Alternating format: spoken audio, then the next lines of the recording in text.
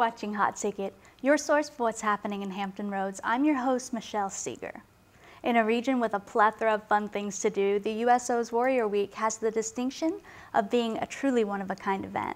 Karen Licari and Paula Moran of the USO of Hampton Roads in Central Virginia are here to really tell us why that is. Now, the uniqueness of Warrior, Warrior Week is very connected to your mission.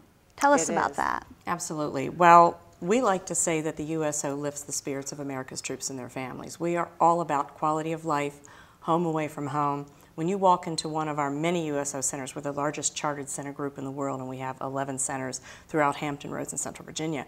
You're supposed to feel like you're home. You'll be greeted by volunteers and or your center director who will immediately tell you where everything is and make you feel good about it. Um, another thing we do is lots of special events throughout the year, and it's not just about the troop members, it's about their families as well. We're there to support everyone. Yeah, I mean, that's really central to Warrior Week.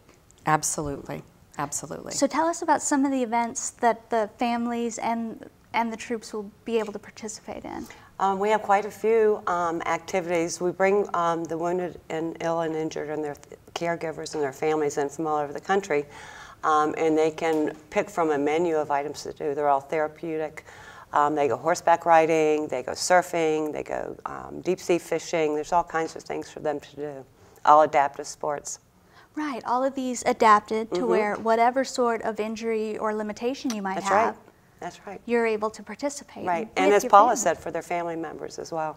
And so, I mean, really being able to do the things with your family that you might have been able to do before your injury. That's right. What a nice thing to be able to do. And research has shown that the best way to heal, both from the invisible wounds of war as well as the obvious ones, is physical activity. The research is there. We're trying to just ramp it up a little bit and make it celebratory in nature.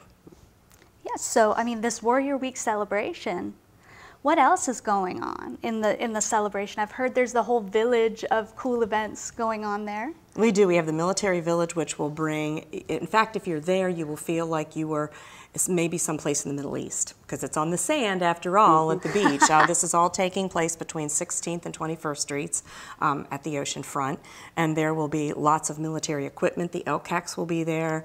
Um, people will be able to get a real first-hand look at what's going on. And then, of course, we have all kinds of additional um, entertainment that will be going on. We do. At 17th Street is, is the um, USO Patriot Park.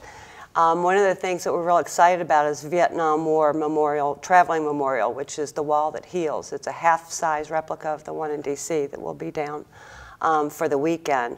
Um, we also have the Marine Corps Silent Drill um, uh, platoon that is going to be um, entertaining everyone. They're just awesome to see. They're fabulous.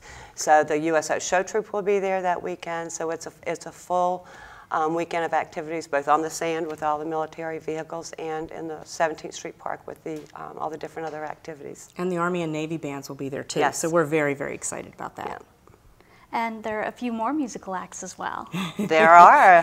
that weekend, um, the uh, Patriotic Festival is that weekend as well, down at Fifth Street Stage, Friday night, Saturday, Sunday night. Um, Friday night is Chris Young.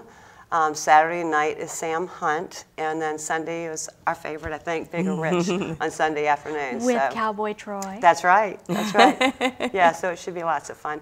And after the, the families, they, they do all the um, activities during the week, and then we bring them down there with us um, for the evenings for the concerts. So it's a full um, week long party and, and uh, fun time for them.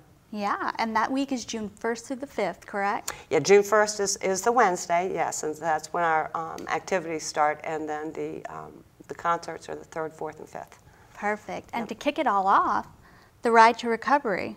It is. Ride to Recovery starts in, in DC. Um, Ride to Recovery is also another adaptive um, sports program um, that the USO uh, works with all over the country.